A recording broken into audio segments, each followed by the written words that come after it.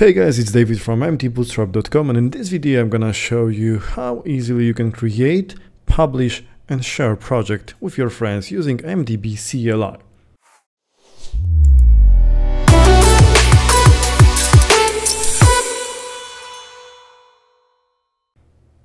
So in order to start using MDB CLI, navigate to mdbootstrap.com slash CLI or find link to CLI in the menu on the left side.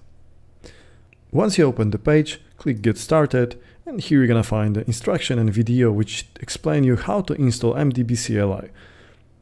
In order to install CLI, you need to have node and npm installed.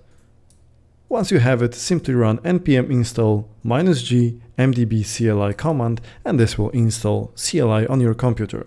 Now open terminal and type mdb login. Provide your username and password exactly the same you use to log in on MD Bootstrap page. If you don't have one, you can create it first. Now let's initiate some new project. Let's type mdb init and choose one of the predefined mdb templates. I'm gonna use mdb5. Keep in mind that you can also initiate an empty project using mdb init dash dash blank, which will create an npm or yarn project depending on your choice. Now let's navigate to the folder which was created. Now let's use mdb set name to give our project a nice name. Let's call it shared project. Now we can choose whether we want to use npm or yarn. Now the wizard will guide you through the remaining process. I'm gonna accept all the default values.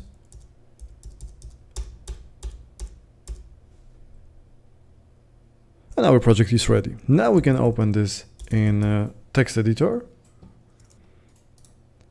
and let's check the preview. Now let's add some changes to our project. Let's say hello shared project. Now we can create repository for our project. Let's type mdb create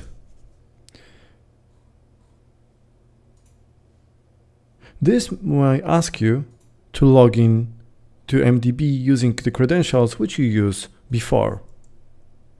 Now if you navigate to mdbgo.com, you're gonna see your project on the list. Our project hasn't been published yet, but it already has a repository. We can click manage and we're gonna see our repository address. If we navigate to the repository, you will see your project page. Now from settings, you can go to members and invite some of your friends to collaborate with you on the project. So I'm gonna invite Sebastian and now Sebastian has access to my project.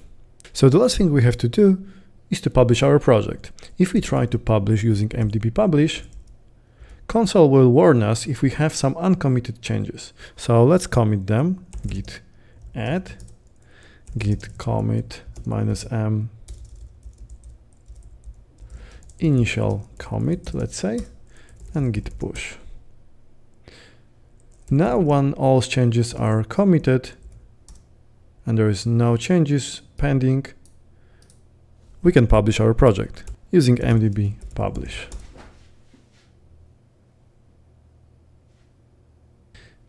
Now, once you navigate to mdbgo.com again, you're gonna see the address of your project.